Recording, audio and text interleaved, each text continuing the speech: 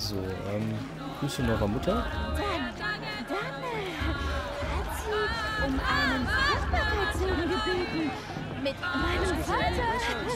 Ich schwöre es. Hm, okay, die Stimme passt irgendwie gerade nicht so, aber okay, die ist äh, eine interessante Frau. Was hier passiert. Achso, die singen.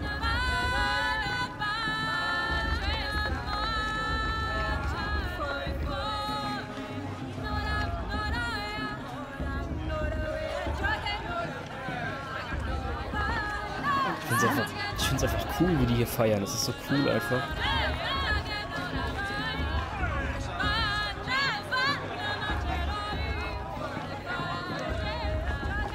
So schön einfach, das zu sehen, wie die hier abgehen und wie die Spaß haben und sowas. Ich weiß nicht, ich, finde es ich sehr schön dargestellt auf jeden Fall. Ja, Springen ist X. Hier, okay, hier ist nichts. Hier können wir uns auch nicht hinsetzen. Hier gibt es ja auch nichts. Dann würde ich sagen, wir gehen mal weiter.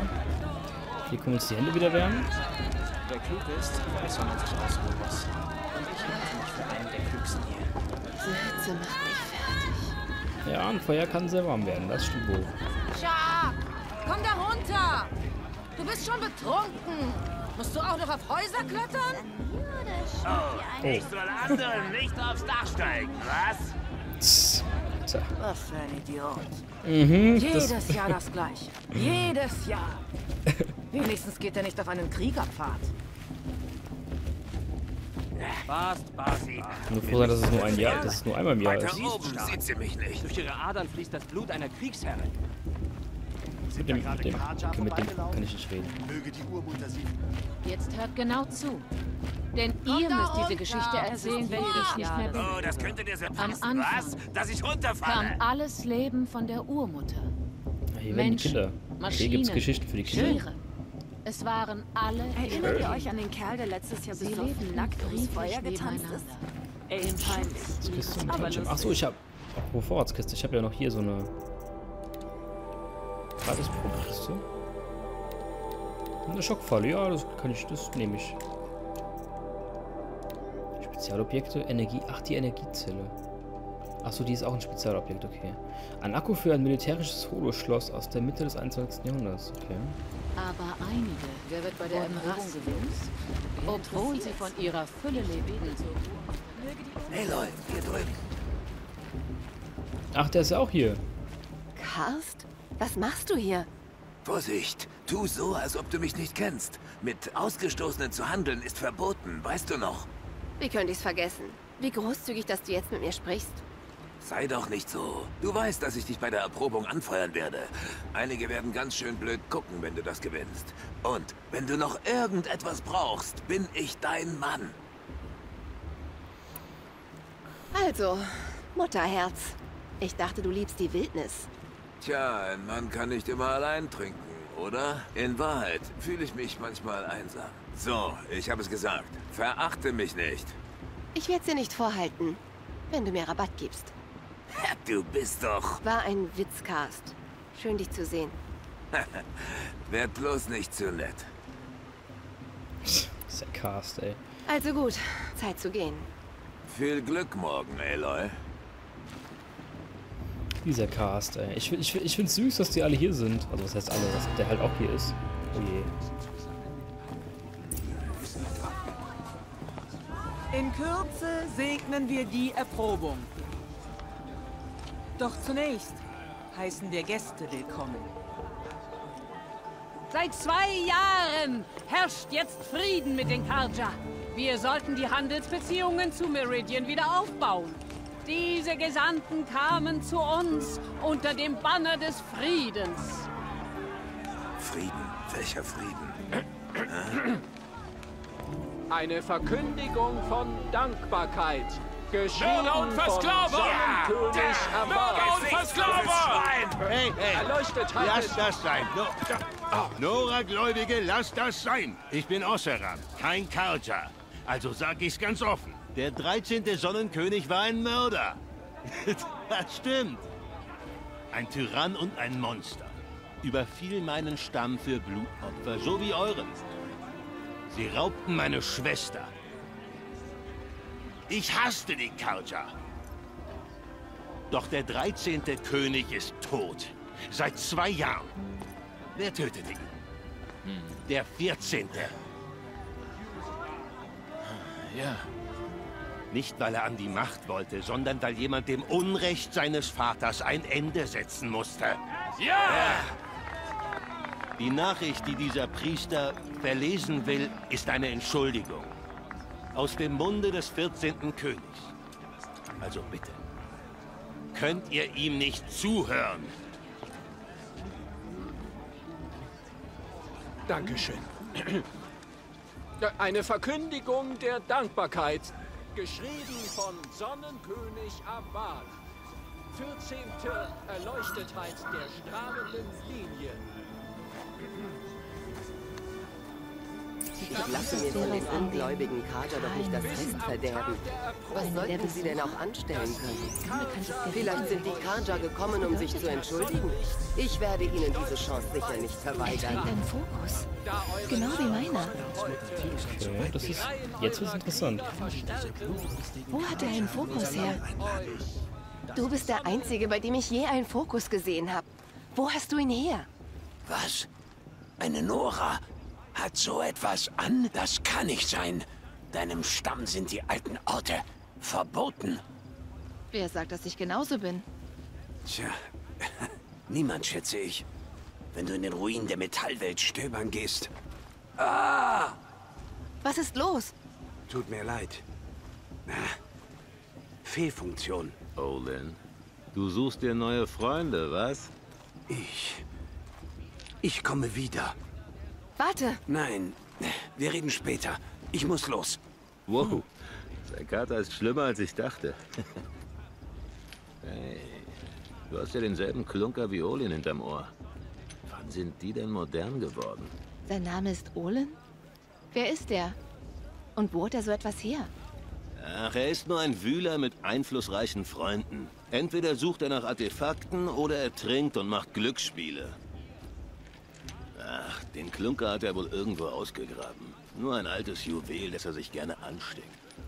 Und nicht für ungut. Hier steht er toll.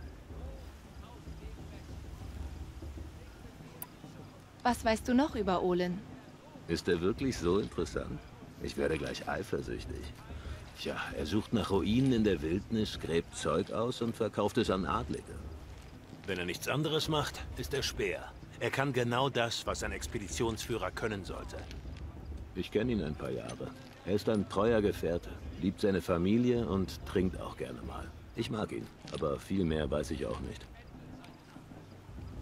Okay. Ich dachte, dein Freund würde in faulen Tomaten ertrinken. Aber du hast sie alle beruhigt. Danke. Ich wusste nicht, ob es klappt. Die Nora verübeln den Karja die roten Raubzüge. Und das ist kein Wunder. Fragen? Ich möchte dich noch etwas fragen. Wenn du willst. Aber ich werde auch nach dieser Segnung noch da sein. Wir könnten dann weiterreden. Ich habe noch nie von den roten Raubzügen gehört. Was war das? Dein Stamm war im Krieg und du wusstest es nicht? Warst du in einem Versteck? Hattest du überbesorgte Eltern oder was? Ich war eine Ausgestoßene, gemieden vom Stamm. Oh. Ja, und die Nora machen sowas. Grausam, wenn du mich fragst. Aber auch Ausgestoßene wissen von der Störung der Maschinen, oder? Wie sie jedes Jahr tödlicher werden? Tja, der Sonnenkönig dachte, wenn er für den Sonnengott genug Blut vergießt, beruhigt das die Maschinen. Hat nicht funktioniert. Aber jahrelang nahm er Mitglieder anderer Stämme zur Opferung gefangen. Darunter meine Schwester. Die Nora kämpften tapfer, aber es gab Tote. Ja, gut, das kann ich mir vorstellen, dass die Tiere nicht drauf reagieren, die Maschinen, wenn Menschenblut vergossen wird. Warum auch? Ich meine, die sind ja Maschinen. Wenn die Karja derart grausam sind, wie kommt es, dass du ihnen dienst? Der letzte König war ein schlechter. Aber der neue König will Frieden. Daran ist nichts Grausames. Außerdem, die Karja kämpfen nicht nur, sie bauen. Siehe Meridian. Alles andere ist nichts weiter als ein Haufen Steine. Und wie groß ist Meridian? Wie ist es da? Wo soll ich da anfangen? Mein Stamm beherrscht die Schmiedekunst. Darin sind wir die Besten. Aber wenn es ums Bauen geht, die Karja sind da besser. Die Stadt liegt über einer Schlucht mit mehr Brücken, als es hier Straßen gibt, und Häusern groß wie Berge. Und ihr gegenüber steht der Turm, wie eine Klinge des Himmels und reflektiert die Sonne. Du musst es dir wirklich einmal ansehen. Das ist eine Herausforderung. Oder eine Einladung. Ich bin auf jeden Fall gespannt, wie das am Ende aussehen wird, wenn wir da mal landen. Klingt auf jeden Fall sehr spannend, was hier alles noch kommen wird. Das ist, äh, vor allem haben die ja auch geschmiedete Rüstungen. Das haben die Nora ja überhaupt nicht. Die haben ja wirklich nur Fellrüstungen, Leder und sowas. Mal gespannt, was da noch du so kommt. Du sagtest, die Maschinen wurden jedes Waffen. Jahr gefährlicher? Ja, aber das weiß doch jeder, oder? Ich wusste es nicht. Oh, tut mir leid. Ich dachte, alle wüssten das. Die Maschinen vor 15, 20 Jahren. Damals waren sie noch nicht so wütend wie heute. Wenn sie einen Jäger sahen, dann flohen sie. Es war schwer, sie zu jagen, aber nicht gefährlich, wenn man so klug war, sich nicht umrennen zu lassen. Aber dann kam die Störung und alles wurde anders. Und jetzt, sobald ein Jäger einen Schuss abgibt, greifen die Maschinen ihn gleich an. Noch ein paar Jahre und sie greifen alles an, was sie sehen. Jeder Ausflug wird zu einem Risiko. Als ob das noch nicht ausreicht, tauchen völlig neue Arten von Maschinen auf. Größer, böser und schwer bewaffnet. Wie der Sägezahn? Ja, vor zehn Jahren war es der. Aber alle paar Jahre taucht etwas Schlimmeres auf. Glaub's mir. Und wie kommt das alles?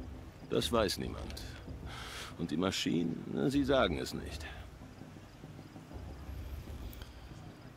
Das wird auf jeden Fall das wird auf jeden Fall interessant werden.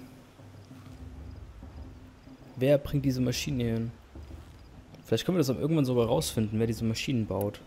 Wer sie zu uns bringt und, und warum überhaupt. Vielleicht ist das ja wie so eine wie so ein riesiges Testlabor, ja, dass, dass hier die Menschen gefangen sind und sich quasi neu entwickeln mit dem, was sie haben, weil sie haben ja keine Technik mehr in dem Sinne und irgendjemand alles beobachtet und sie weiter testet oder keine Ahnung, mit ihnen spielt oder was auch immer. Deine Schwester wurde entführt und geopfert? Das ist furchtbar. Ha, entführt, ja, aber geopfert? Nein. Ein paar Karja können Ersha nichts anhaben. Sie entkam und ist jetzt mein Hauptmann. Hauptmann der gesamten Garde. Ernannt vom Sonnenkönig selbst. Wie hat sie überlebt? Oh, die Geschichte ist gut, aber sie ist etwas lang. Vielleicht ein andermal bei einem Drink oder drei. Bei einem Drink oder du kommst nach Meridian und fragst sie selbst. Ihr würdet euch sicher mögen. Ihr seid beide äh, direkt. Wie endeten die roten Raubzüge? Also, was ist passiert? Wie kam es zum Ende? Der Sohn des verrückten Königs vereinte Kerja-Rebellen und Osseram Freibeuter. So schafften wir das Unmögliche. Meridian einnehmen und den König töten. Und jetzt sitzt dein Sohn auf dem Thron. Eine große Verbesserung. Unter Avat gibt es keine Opferungen, keine Sklaverei. Alle Stämme sind jetzt in Meridian willkommen, sogar Nora-Verbannte. Du solltest vorbeikommen. Wer sind die Osseram? Das ist mein Stamm, weit im Nordwesten. Wir können drei Dinge. Streiten, Stahl schmieden und brauen. Und Freibeuter, was sind die? Man könnte wohl sagen, wir waren Söldner, also bezahlte Krieger. Aber sehr viel loyaler, als es jetzt klingt. Avad hätte ohne uns keine Chance gegen seinen Vater gehabt. Und jetzt dienen einige von uns in seiner persönlichen Garde. Die Störung haben wir noch vergessen Erzähl mir mehr über die Störung. Die Maschinen vor 15, 20 Jahren Damals waren sie noch nicht so wütend wie heute. Wenn also ich glaube, das haben wir wirklich... Ach, nee, das hatten wir schon, okay. Noch ein paar, als ob das... Wie der See. Ja, vor, ich dachte, er wird noch was erklären, was die Störung ist, aber okay. Ich hätte dann noch mal eine Frage. Frag ruhig. Schöne Rüstung. Deine Rüstung sieht ungewöhnlich aus. Hast du noch nie Gardestahl gesehen? Na, ich erklär's dir. Ringverbunden, aufprallgeschützt, stabil genug für Sägezähne. Muss er auch. Die Garde ist die Sonnenkönig-Elite. Das sind alles eisenharte Maschinenbrecher. Sogar eine Nora-Streiterin wie du könnte da Probleme kriegen. Bei diesem ganzen schweren Metall? Wohl kaum. Ja, schwer zu sagen. Meiner Meinung nach sieht es recht ausgeglichen aus. Wer ist Erzähl Olin? mir mehr über Olin. Achso, Wenn er nichts anderes macht, ist er... Ich kenne ihn Achso, das haben wir ja schon gehabt, okay. Dann, ja. Soll zur Segnung Ich gehen. sollte jetzt zur Segnung gehen. Ja. Hör mal, es geht mich eher nichts an, aber du gehörst doch einfach nicht in dieses öde Kaff. Ich meine, du bist klug, du hast einiges drauf und ich meine, sieh dich an. Äh, wovon redest du da? Das weißt du genau. Wenn du mal in Meridian bist, komm vorbei. Ich zeig dir alles und stelle dich vor. Das wird ein neues Leben für dich. Na egal, ich muss jetzt auch zu dieser Segnung. Also bis demnächst, vielleicht. Vielleicht sind die Karja gekommen, um sich zu entschuldigen. Achso, okay. Ich werde ihnen diese Chance geredet. sicher nicht verweigern. Wir haben einiges gelernt über äh, die Vergangenheit, was hier so passiert ist und die Stämme. Das ist ganz cool. Jetzt müssen wir zur Segnung, weil wir haben bald die Erprobung vor uns und ich bin sehr gespannt, wie das wird. Schwester gab's viel bessere Musik. Wir beginnen mit der Segnung, wenn alle Aspiranten da sind. Oh, ich muss wohl auch dazu. Frage ist, wo muss ich hin? Aloy, dein Platz ist gleich hier. Das da ist dein Gebetslicht. Es ist mein Geschenk. Blasphemie. Schwestern. Aspiranten, vor jedem von euch steht ein Gebetslicht, das eure Mutter gemacht hat. Ihr zu Ehren entzündet es nun.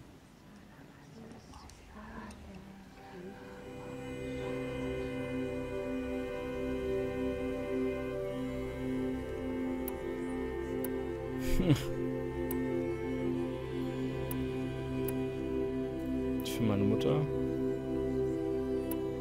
Oder für Rust.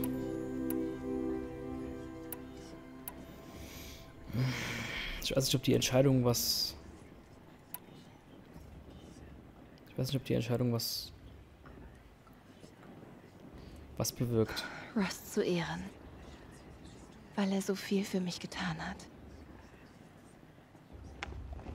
Urmutter, höre unser Gebet. Was, Was ist ein Kind, wenn nicht Ausdruck mütterlicher Hoffnung? Eine leuchtende Flamme, die weit hinaufsteigt, freischwebend im Wind. Ein Licht am Himmel, bis es endlich verglüht. So wird das Band unserer Liebe weiter von Hand zu Hand gereicht.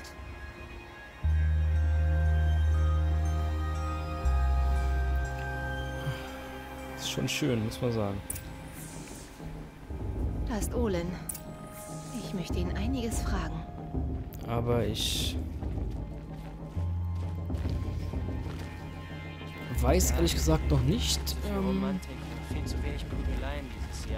ich weiß noch nicht, ob, wie das hier enden wird. Das ist, Schade, dass dieser ähm, Musikant vom letzten Mal nicht wieder da ist. Der mit den langen, dunklen Haaren. Aloy, jetzt nach dem Ende der Segnung haben wir endlich Zeit, uns zu unterhalten. Ich hoffe, die Zeremonie war nicht unerfreulich für dich, wegen der Umstände. Nö, die Leute, diese Leute sind halt nur einfach so ziemlich unfreundlich, aber sonst geht's. Es war nicht gerade angenehm, aber es ist ein schönes Ritual, trotz all dem. Es ist großzügig von dir, Aloy, ein Ritual zu loben, das alles ehrt, was du nicht hattest. Es hat mir einfach nichts ausgemacht. Ich habe größere Probleme als das Gemurmel der Nora über ihre Mütter. Verstehe. Du möchtest doch bestimmt einiges fragen, oder? Ja, schon. Mm, Ross sagte, dass Stammmütter nicht nur den Stamm führen. Was macht ihr noch? Wir lehren, wir geben Rat, wir segnen. Wenn notwendig, richten wir. Uns geht es immer nur um das Wohl des Stammes. Wir haben in diesem Jahr ganze drei Erzmütter unter uns. Dazu mehr als 30 Stammmütter. Was ist der Unterschied? Stammmütter sind Großmütter mit zwei Generationen lebender Nachkommen. Und eine Erzmutter ist eine Urgroßmutter mit drei oder mehr Generationen Nachkommen. Okay, das ist krass. Wir sprechen damit für sehr viele. Unsere Meinung hat Gewicht. Die der Erzmütter hauptsächlich. Also, je mehr Kinder man hat, desto mehr hat man zu sagen? Das ist wohl auch eine Art, einen Stamm zu führen. Warum sollte es anders sein? Das ist wirklich interessant. Warum hasst Lansra mich so sehr? Sie hat so einige extreme Ansichten. Mehr als das kann ich nicht sagen. Ich kann nichts für meine Geburt. Oder dafür, dass ich ausgestoßen wurde. Ich sehe das ganz genauso. Aber es gibt auch andere Meinungen. Und jede Abstimmung der Erzmütter erfordert eine Mehrheit. Das ist eine interessante Frage. Warum verstieß man mich nach der Geburt, Tirsa? Was könnte ich getan haben, noch bevor ich geboren wurde? Aloy, diese Frage kann ich nicht beantworten. Warum nicht? Sie ist ganz einfach. Und wo ist meine Mutter? Ist sie heute hier? Sieht sie mich? Oder ist sie tot? Ist sie hier? Oder nirgends? Deine Mutter ist bestimmt hier bei uns, wenn auch nur im Geiste. Das ist keine Antwort, oder? Damit du es weißt, Tirsa, ich bin hier, um Antworten zu finden. Ehrliche. Und nach der Erprobung fordere ich sie ein. Ich weiß, Aloy. Das habe ich auch erwartet. Was ist mit Rost? Warum wurde er ausgestoßen? Er hat es nie erzählt? Er hat wohl geschworen, nie davon zu sprechen. Ja. Und ich auch. Und die anderen Erzmütter. Tut mir leid, Aloy. Aber Rosts Vergangenheit wird für dich auch ein Geheimnis bleiben. Das war ja klar. Die und ihre komischen Gesetze, das ist echt nervig. Mich überrascht, dass der Stamm Ausgestoßene zur Erprobung lässt. So entgegenkommend sind die Nora sonst nicht. Es war schon immer gesetzt, dass ausgestoßene Kinder dieses Recht haben, ihre Möglichkeit der Rückkehr. Aber du bist, soweit ich weiß, die Erste, die dieses Recht tatsächlich wahrnimmt. Das überrascht mich nicht. Das ist krass. Ich glaube nicht, dass viele ausgestoßene Kinder alt genug dafür werden. Das liegt eher daran, dass solche Kinder selten sind. In all den Jahren gab es nur ein weiteres ausgestoßenes Kind. Ein 13-jähriger Junge, der seine Mutter tötete. Die Erprobung war nach fünf Jahren und er kam nicht. Nein. Alleine hat er bestimmt nicht lange überleben können. Aber er hatte eine Chance. Andere Stämme hätten ihn hingerichtet. Du wirst es nur schwer akzeptieren, Aloy. Aber eine Verbannung ist, relativ gesehen, human. Oh, wirklich? Probier's mal 18 Jahre aus, Tirsa. Und dann sprechen wir uns wieder. Dazu bleibt wohl nichts was zu Ich sagen. muss gehen. Ich wollte nicht unhöflich sein, aber ich will schon so lange antworten. Ich weiß, Kind. Nicht nur du hast diesen Tag jahrelang herbeigesehnt. Ich werde für deinen Erfolg beten. An der Göttin, über die Kaja zu richten, nicht an mir. vielleicht Der hat er darin sagen. war gar nicht so schlecht. Nett und kurz immerhin. Aber es gibt einige Osseram-Bastler, die ein besseres Feuerwerk machen. Ups. Äh, Hoffentlich beleidigt das jetzt nicht euer heiliges Ritual. Es war schön. Wirklich. Ja, Okay, tja, können wir wohl nichts mehr viel reden. Glück bei dieser Erprobung. Ja, wer weiß, Es ist an genau. der Göttin, über die Kaja... Ach, der ist wieder da. Hallo, Olen. Du kennst meinen Namen? Ah, du weißt ihn von Erend. Warum hast du dich vorhin so komisch benommen? Muss dieses Fest sein? Ich mag wirklich keine Menschenmengen. Vielleicht sollte ich einfach... Weich mir nicht dauernd aus. Schon gut, ganz ruhig. Was willst du wissen? Wo hast du Außer gefunden? mir hat niemand einen Fokus. Wo genau hast du ihn her? In einer Ruine nördlich des Landes, das wir Ossaram unser Anrecht nennen. Dort oben gibt es sehr viel Metall, Stahlriesen, teils unter der Erde begraben. Vergessene Höhlen, die die Alten in den Fels gebohrt haben. Deine Augen leuchten. Ich habe meinen Fokus aus genau so einer Höhle. Aus einer Ruine der Alten. Wenn du auch Stöbern warst, weißt du so viel wie ich darüber. Frag diese Orte nach Antworten. Nicht mich. Wir sollten auf jeden Fall die Ruinen mehr erkunden, wenn wir welche finden. Was machst du hier, Olin? Was machst du im Noraland? Erin brauchte einen Expeditionsführer und einen Kumpel zum Trinken. Sonst nichts. Jemanden, der auf den Priester aufpasst. Wenn das hier vorbei ist, geht's zurück in die Ruinen. Auf der Suche nach Schrott oder nach Schmuck zum Verkaufen. Du bist also Forscher? Ich bin nur ein fremder Mädchen. Man muss seine Scherben verdienen. Ich verdiene meine eben als Diener des Königshofs. Das ist alles. Das hatten wir nicht. Als wir vorhin sprachen, hast du gezuckt und ausgesehen, als ob dir was wehtut. Oder Angst macht. Hat dein Fokus dir etwas gezeigt? Er hat mir gar nichts gezeigt. Wie gesagt, eine Fehlfunktion. Das passiert ständig.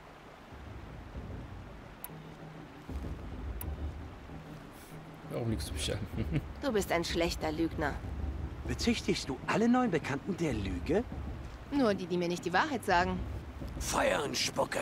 Ich bin von einfacher Natur und habe nichts zu verbergen. Wenn du mir nicht glaubst, ist das dein Problem, nicht meins. Ich verstehe das nicht. Wir haben beide dieses Gerät, aber du willst überhaupt nicht mit mir reden. Ich suche hier auch keine Freunde, Mädchen. Den Ärger brauche ich nicht. Ich bin es gewohnt, gemieden zu werden. Ich dachte, du bist anders. Ist nichts Persönliches. Ganz sicher nicht. Du solltest heute Abend mal Spaß haben. Großer Tag morgen. Man sollte jeden Tag genießen. Ja, okay. Ich weiß nicht, der Olin verbirgt auf, je verbirgt auf jeden Fall irgendwas. Ich würde gerne rausfinden, was, aber ich glaube, das wird noch einen Moment dauern, bis wir, das, bis wir soweit sind, dass wir das wirklich herausfinden können. Alle sind die wieder, die hier Party machen. Ich will tanzen. Jägerheld ist da vorne. Ich äh, speichere gerade mal, ich glaube, eine Schnellspeicherung reicht erst.